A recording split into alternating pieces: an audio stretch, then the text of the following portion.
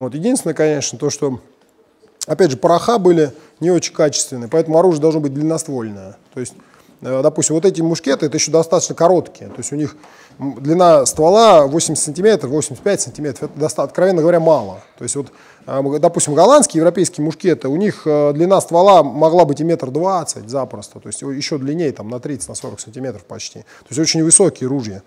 Почему? Потому что, чтобы порох успевал сгорать. То есть иначе просто часть пороха вылетает, ну, не сгорев. Да, то есть эффективность она не такая высокая. То есть если длинный, длинный ствол, то лучше как бы стреляет. То есть порох успевает в стволе сгореть.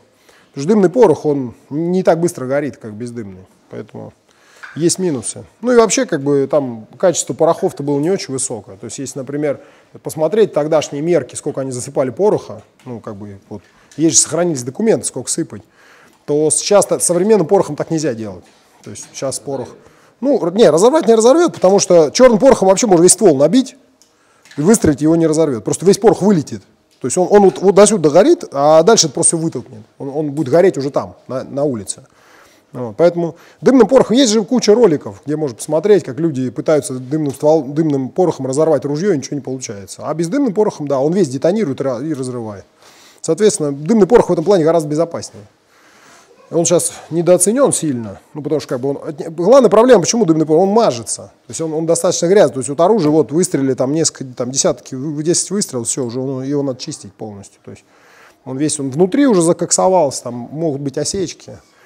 Но опять же, им же не надо было так много стрелять. У них вот, допустим, вот бандолеры, вот, ну вот у Макса, у него берендейка одета с деревянными такими бутылочками для зарядов. Там у тебя сколько, 12 штук? 12 апостолов, то есть 12 зарядов. То есть этого для боя вообще хватало. То есть больше было не нужно просто. То есть если им было необходимо, мог досыпать из пороховницы, как бы. Вот. А, допустим, если не берендейка, то могла использоваться вот такая патронная сумка с бумажными патронами уже. Вот. То есть там тоже, как правило, могло быть там, от 8 до там, 15 зарядов, то есть больше им просто не нужно было. То есть могли вообще заряжать, допустим, вот более раннее время, то, допустим, 16 век тот же самый, там, конец 16 века, они вообще часто заряжались просто с пороховницы. То есть у них вообще не было никаких этих патронов. Это вот патроны появились в регулярной армии, чтобы быстрее заряжать. С носика просто насыпается мерка, высыпается в ствол, ну, если никуда не торопишься. Вот, также пуля достается из сумочки пуля, запужевывается и стреляется. То есть вот в конце 16 века в основном так и стреляли. Вот, то есть переход вот к этим зарядам, он произошел тогда, когда ну, как бы потребовали в регулярной армии уже ну, как бы быстро стрелять. То есть вот прям надо много и плотного огня делать. Ну, как бы дураков-то нет, все очень быстро поняли, что если быстро стрелять, то можно как бы быстрее побеждать. Поэтому искали разные способы. Вот одним из способов был, конечно, изобретение бандолера, то есть с отмеренными зарядами пороха. То есть в каждой бутылочке в ней отмеренный заряд пороха, а сбоку висит патронная сумка, в ней лежат пули. То есть он засыпает уже готовый заряд и уже пулю и пуш сует из сумочки. Вот. А следующим этапом стало уже изобретение патронной сумки. Это когда уже бумажный патрон, в каждом бумажном патроне там уже сразу и порох, и пуля, оно все приклеено на клей. То есть ты просто откусил, высыпал, остальное скомкал, это получается и пыш, и пуля вместе, засунул и забил. То есть это сильно быстрее. Соответственно, там с патронной сумки можно стрелять.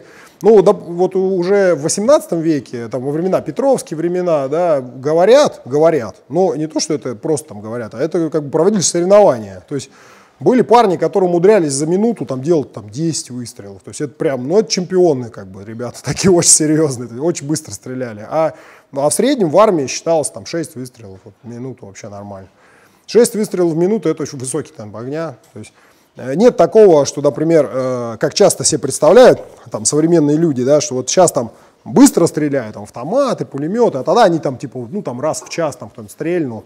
Нет, просто их много. То есть они, и они стреляли на короткую дистанцию близко. То есть, а так непрерывный огонь, то есть ду ду ду ду ду ду Вот, то есть, э, ну, в 30-летнюю войну, например, вот когда воевала 30-летняя война в Европе, вот такие мушкеты были. Вот. И у нас они потом тоже массово использовались до где-то до середины 17 века. Даже в середину они еще использовались. Потому что у нас вообще в России был такой уникальный э, случай вообще. То есть, ну, как бы мы немножко шли не, не теми путями. То есть у нас огнестрельная революция пошла немножко по-своему. А в той части, что у нас вообще изначально был в основном кремневый замок, а потом произошел откат к фитильному. Почему? Потому что, во-первых, кремневый замок вот такую погоду очень плохо стреляет, то есть очень много осечек. Вот, а для армии это очень плохо. Вот.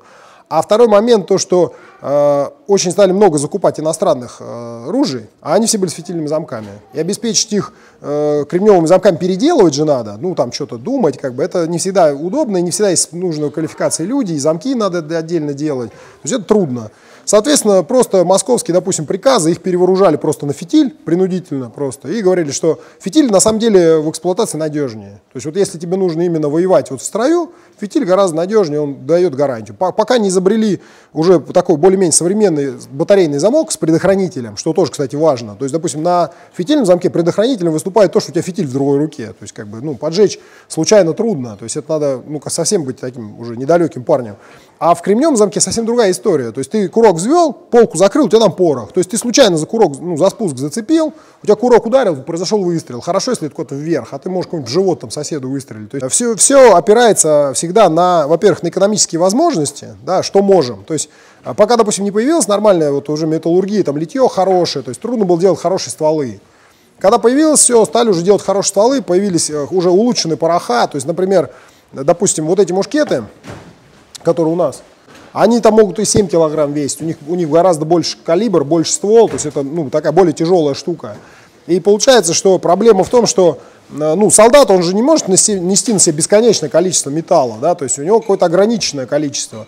Соответственно, если вы солдату даете мушкет, который весит 7 килограмм, то, значит, соответственно, вы ему можете дать патронов, условно говоря, там, 10 патронов или 20 патронов, да, чтобы он мог стрелять. Если у вас мушкет легче на 2 килограмма, соответственно, эти 2 килограмма можно ему дать еще что-то. То есть он может помимо мушкета еще шпагу одеть, которая весит 2 килограмма. То есть получается, что вот эта вот нагрузка на солдата, да, а, а, это постоянная борьба как бы вот, снаряда и брони, да, то есть и постоянная борьба за то, чтобы солдат был как можно легче одет, но при этом максимально эффективен. То есть, и поэтому пока, допустим, не изобрели более качественную переработку пороха, приходилось затаскать более тяжелое. Потом, ну и вот так вот это все время боролось.